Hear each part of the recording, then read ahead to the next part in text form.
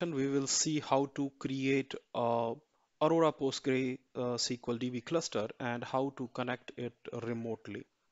It's a very straightforward demo and uh, all the steps, high level steps are mentioned.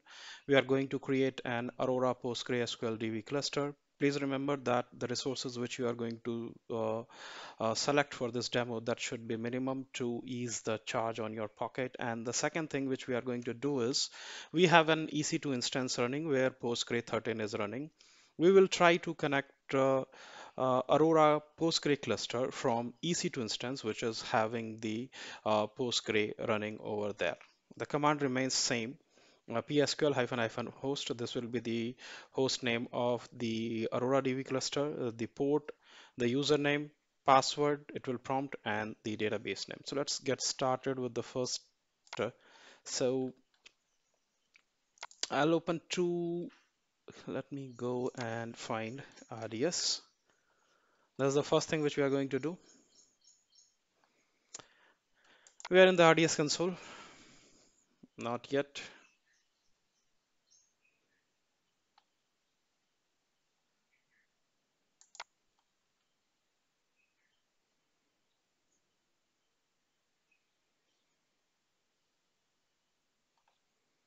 I should have logged in and I'll open another console for EC2 as well just to save some time.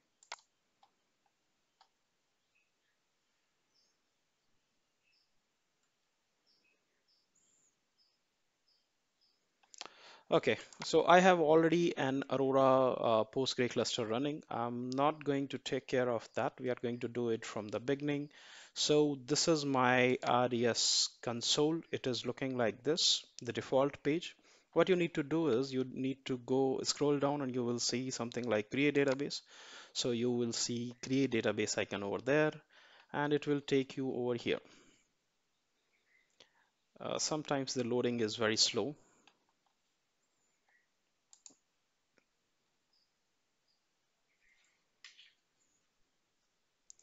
All right, there are two things. One is the standard create, another is easy create, wherein you don't have to feed most of the thing, but we will go with the standard create, wherein we are going to uh, mention most of the items manually. So I'll go with the Amazon Aurora, and we are going to launch Amazon Aurora for PostgreSQL compatible edition. That means it is it is a kind of engineered system and it is having both the things MySQL and PostgreSQL. Whatever you want to choose, uh, you can go with that.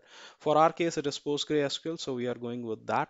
We are going with the provisioned one. We are not going with the serverless. And here uh, in the version, you have the control. You can uh, uh, take the uh, version whatever you uh, it, it, fits for your case for us we are going to go with the latest one which is postgre 13.6 and we'll just select it. We're not going to do it for the production environment since this is a demo, so we will take the lightest machine. So we'll go with dev and test. The settings here, the DB identifier, this should be unique across your uh, uh, account. So I have database hyphen one DB cluster already running, so it will not allow me. By default, it is going to take database hyphen one. Database hyphen two, it has taken. The master username over here, uh, it is Postgre so uh, you can change it uh, the admin or whatever you wanted to do. I'll say generate auto generate uh, a password. And uh, it will take uh, let's say this previous version uh, generation classes we are going to take. It is just two virtual CPUs 4 GB of RAM. And we are not going to create an Aurora replica that we will see later like what it is. From the connectivity point of view, we will go with the public access. We have uh, from the, if you are inside the VPC, let's make it no so that you can't connect it from outside, which is safer, suggested, and as per recommendation. But for our demo, we wanted to take the access from the outside or from the public network. So we have selected yes. And VPC security group, we are going to uh, consider the default one.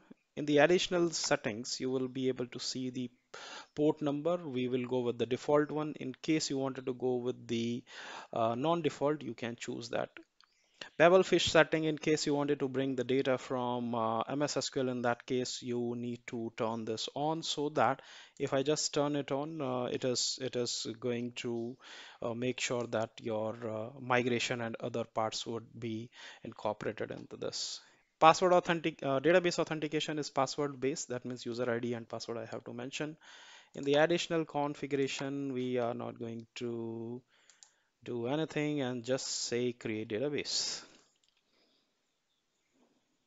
Now the next part is I have to access this particular um, Aurora cluster from uh, from EC2 instance. So what I need to do is I need to go inside the uh, database 2 hyphen instance 1 while it is getting created. It is creating. So let's see if we have something. Uh, we'll go with view credential details. So if you lose the password for the one time, you need to reset it. So I'll just say copy. The username is master, uh, Postgre. Uh, the password, it is available over here. So uh, this is my password and username is Postgre. And now uh, back to here. Uh, once it is it is created, you will see uh, this is the endpoint of the regional cluster and this is read only. So let's select this one.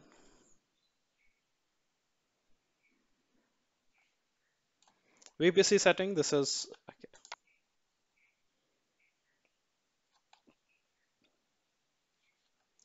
It is still getting created. It may take some time monitoring, logs and events, configuration. So let it create first.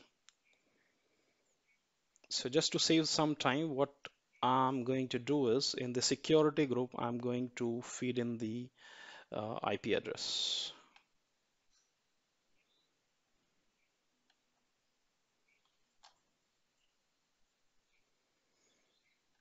Okay, it is still getting created.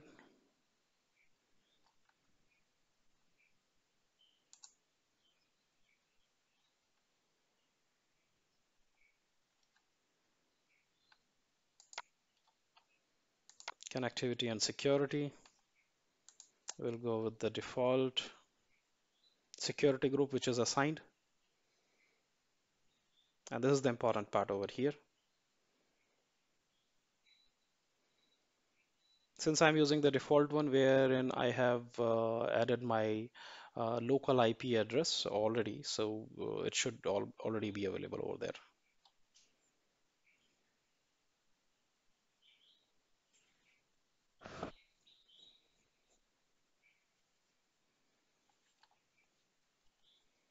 So I'll just say edit uh, inbound rules and what you need to do over here is you need to add two IP address. Uh, one IP address you will be selecting, uh, we are just going to access everything on 5432. So what you will do is uh, you just have to select your IP address and the, uh, the EC2 instance uh, through which you are going to access this. So I'll just select the EC2 instance. This is my private IP I'll select this one and I will add it over here. So I think I already have added it over there. 172 that's this 172.31.42.128 this already exists so I need I don't need to do anything which is going to be the most important part so everything looks fine so far let's go back to the RDS RDS console and we'll see what is the status of the instance uh, of the Postgre um, Aurora cluster which is getting created.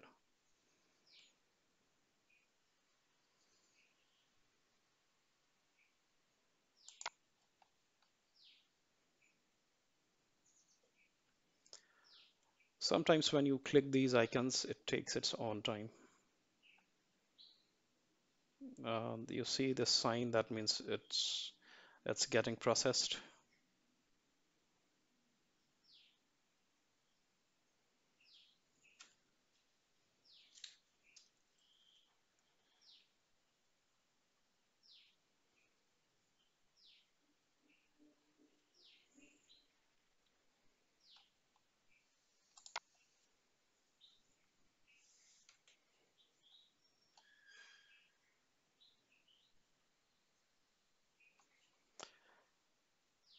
All right, so it is available. This is getting created.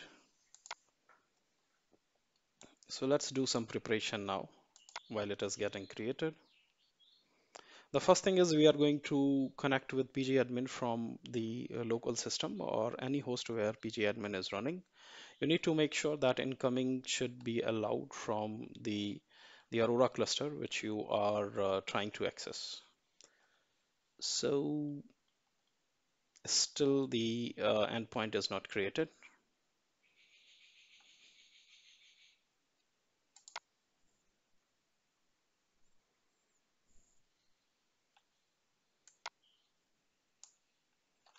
Creating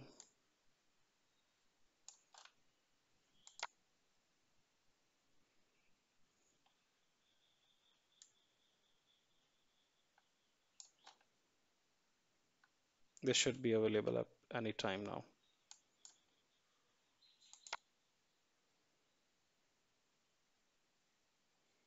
Once you see the status available, then only try to access it.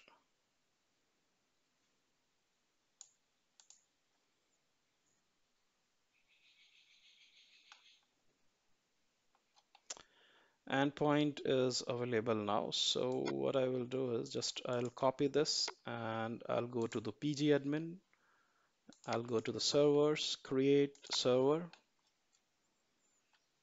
enter the name in the connection string mention the endpoint Postgre is the uh, maintenance database. Username is also Postgre. And the password you copy the password which you had taken up. And you just enter it over here. Try to see if if uh, the instance is created. No.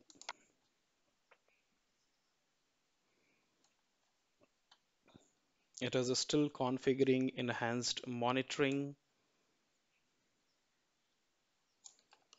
go to databases part and see the status. No, still it is not available. You can see the error once you do it over here.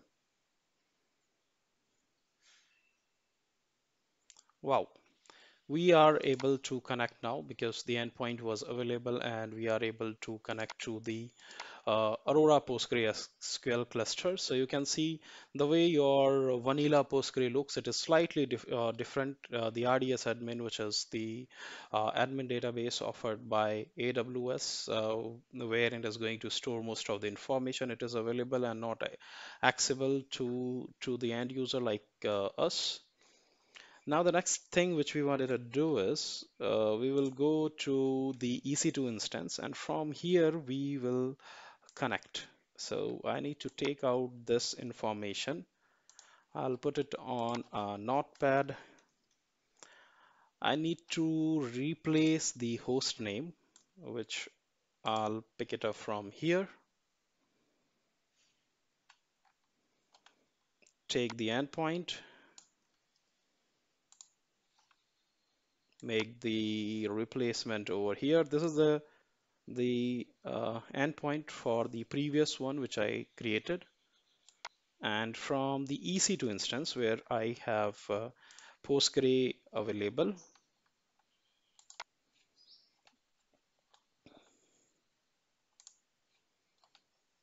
I'll copy this and I'll paste this password